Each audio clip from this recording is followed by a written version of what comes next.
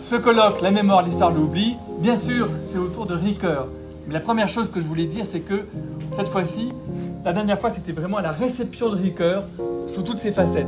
Cette fois-ci, on a pris un thème qui permette de sortir, que Ricoeur, si je puis dire, soit un prétexte pour euh, élargir aussi à d'autres disciplines. Et on ne voulait pas intimider des non-ricoeuriens, mais qui sont des historiens, qui sont des sociologues, qui seraient des juristes ou d'autres disciplines, à oser prendre à bras le corps les thèmes que Ricoeur avait rencontrés. Ricoeur n'était pas quelqu'un qui se mettait au centre en disant c'est moi qui pense ça. Il mettait une question au centre.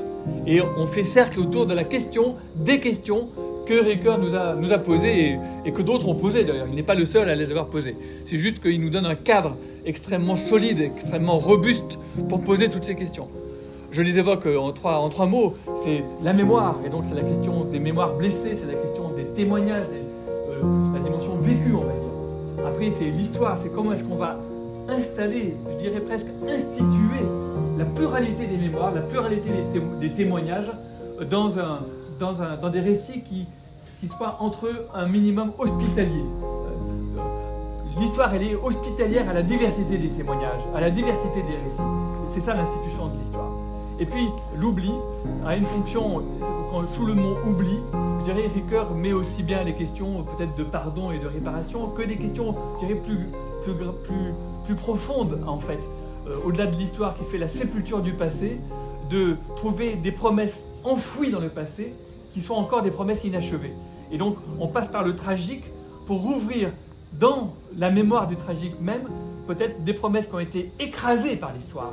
Et c'est vraiment d'un écrasement qu'il s'agit pour essayer d'en tirer un, autre futur. Il y a du passé d'autres futurs que le présent. Cette dimension utopique, comme il a été dit cet après-midi, cette dimension utopique de la pensée de Ricoeur, c'est une dimension, euh, à dire, politique et poétique.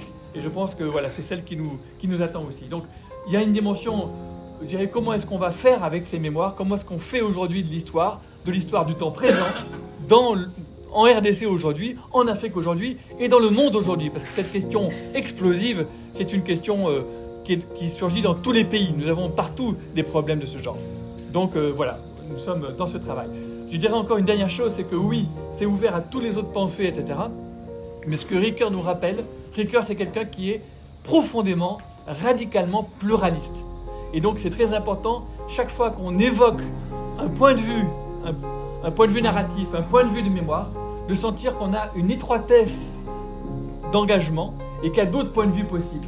Et je pense que Ricoeur, méthodiquement, nous apprend cette pluralité des points de vue. Je dirais que c'est ça sa grandeur, d'être parmi les autres. That's what I'm talking about. Wait! Okay, now, from the beginning.